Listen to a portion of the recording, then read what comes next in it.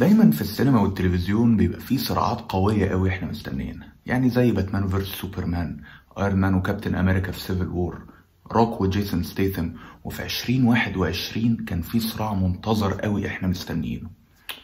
مش جودزيلا versus كونج هو كرارة والسقة في نسل الأغراب.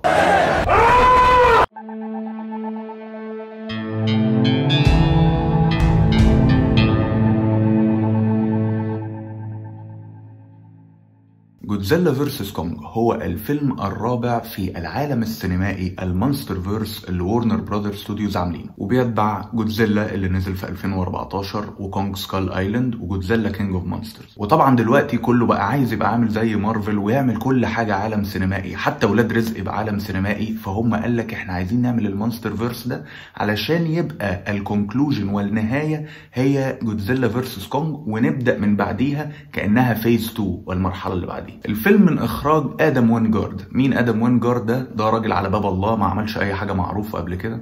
آخره كان بيعمل شوية أفلام رعب اللي هي بتنزل في يناير وفبراير محدش بيشوفها غيره هو وعيلته. وبصراحة نوعية الأفلام اللي في ال MonsterVerse هي مش محتاجة مخرج شاطر قوي. يعني مش هنجيب ستيفن سبيلبرج يعمل لنا Jurassic Park هي محتاجة كام حد يظبط ال visual effects ويعمل لنا كام action scene حلوين وإحنا كده مرضيين قوي. وده ليه؟ لأن نوعية الأفلام دي هي نوعية الأفلام اللي بيسموها ال popcorn movie أفلام الفشار. تتفرج كده وانت قاعد تأزأز انت داخل تفصل دماغك انت مش داخل عشان قصة عميقة ولا تمثيل بقى ياخد أوسكار ولا الكلام ده خالص. كل اللي عايزه إنك تنتخ وتتفرج على أكشن وتفصل دماغك. وتقعد تنبسط بشوية أكشن مبالغ فيه وحاجة تبقى مسلية ليك. وطبعا في فيلم زي Godzilla versus Kong زي ما هو باين من اسمه كده إحنا كلنا مستنيين العركة الكبيرة. جودزيلا وهو بيتخانق مع كونج ولأن ما شاء الله السلسلة دي في الثلاث أفلام اللي فاتت لازم تحشر شخصيات بني آدمين كتير. أنا معاك إن إحنا لازم نشوف الفيلم من عينيهم. بس هما بيحشروهم لدرجة مستفزة لدرجة إن أنت بتحس هو يا جماعة أنا داخل أنا قاطع تذكره عشان أشوف جودزيلا ولا عشان أشوف كونج. فهنبدأ كده سريعا بتحليل الشخصيات وبعد كده نروح للتقيل. نبدأ بميلي بوبي براون ألا وهي 11 اللي هتفضل في نظري دايما 11 مهما كبرت وكل الكلام ده. تمثيلها كان ظريف خفيف على القلب مش مطلوب منها تمثل حاجة درامية قوي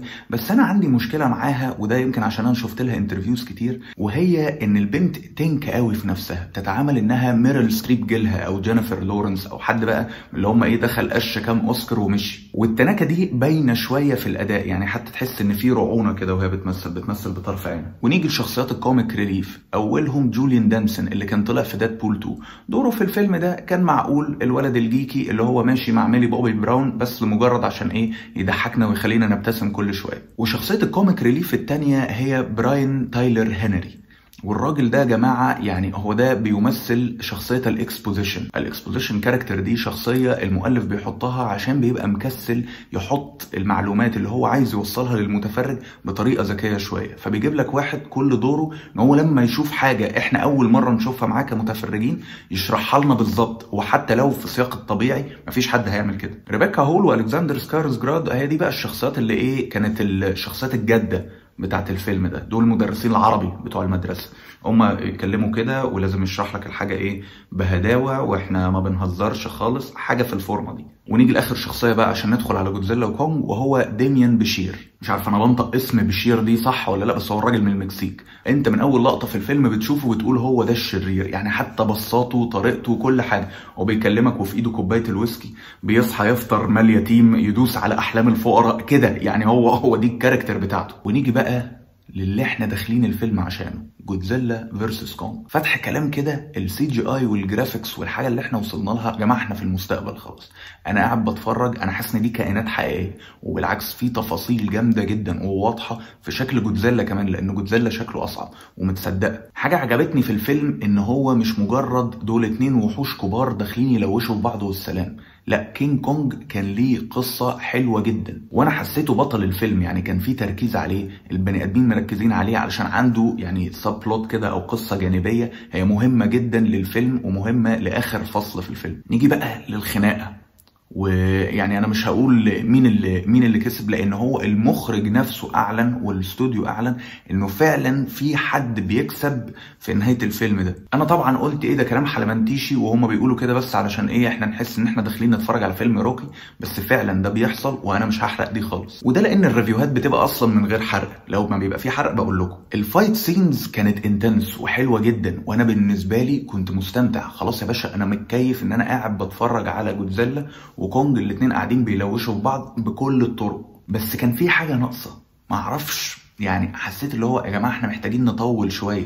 يعني ده Godzilla versus Kong الموضوع ده مش هيحصل تاني. على الأقل لما يتعمل reboot هيبقى كمان 10 20 سنة. قعدنا معاهم أكتر خليهم يتخانقوا أكتر. يعني أنا مش عايز أشوف بني آدمين في الفيلم. أنا مش فارق لي أي شخصية من شخصيات البني آدمين دي خالص. أنا عايز أقعد معاهم. أنا عايز أشوف يعني عارف خليهم يشقلبوا بعض يضربوا بعض بمراكب يعملوا أي حاجة. كان في حاجات كتير صايعة وحاجات في الخناقة اللي هو بتضحك لأن الناس دي بالنسبة لها أحجام العمارات لا شيء. بس في نفس الوقت لا أنا كنت عايز الخناقة تطول تقعد تلت ساعة نص ساعة. اتعلم من البقال زاك سنايدر وقعد ال fight scene 40 دقيقة. بس ك totally أنا الأكشن والأحداث اللي كانت بتحصل والعركة عجبتني بس لسه كنت محتاج أكتر. طبعا الكتابة والسيناريو والحبكة إحنا بنتكلم في قصة كاتبها طفل في خمسة ابتدائي. يعني علشان بس نبقى متفقين. ومفيش حد بيدخل الأفلام دي زي ما قلت لكم في الأول عشان الحبكة ولا تمثيل ولا الكلام ده. بس في حاجات كتير قوي مش مبررة وحاجات كتير قوي قوي قوي مش مشروحة لسبب الخناقة. هي تحس ورنر براذرز معاهم شخصيتين جامدين جدا ودول حقوقنا وإحنا دافعين فلوس علشان يبقى معانا جودزيلا وكونج طب خليهم يتخانقوا بقى. والكلام اللي هو ما بين شخصيات البني آدمين كلام تحسه ساذج قوي يعني أنا بالعكس تحسه حاجة إيه أفلام أرنولد وسيلفستر كده بتاعت الثمانينات وأوائل التسعينات كده. ويمكن أكتر حاجة عجبتني بجد في الكتابة هي كانت علاقة كونج بجيا. أنا فعلا كنت متأثر بيها وبالعكس تعاطفت وحسيت اللي هو لا أنتوا خليتوني invested في ال characters ونيجي بقى في الآخر هل الفيلم حلو ولا لا؟ أنا هقول لكم حاجة واحد صاحبي سألهاني لما أنا دخلت الفيلم وقلت له إن أنا شفته. قال لي هل الفيلم ده خرجت منه شبعان. الصراحة أنا حاسس إن أنا كأنه أول يوم رمضان. عارف أنت اللي هو تحس ده إحنا هناكل بقى وهنسوي بتاع.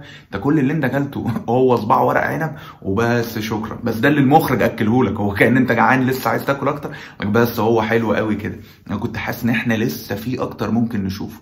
بس هل يا ترى ده هنشوفه أكتر في أجزاء جاية؟ هم لسه ما أعلنوش عن أي جزء ولا أي حاجة ليها علاقة بكونج أو جودزيلا بعد الفيلم ده. وهو الفيلم في العموم فيلم لطيف تشغله في يوم كده إيه وأنت قاعد زهقان في action sequences لطيفة. حاجة يا دوبك هي تمشي مع مستوى ال MonsterVerse أو العالم السينمائي اللي هم عاملينه.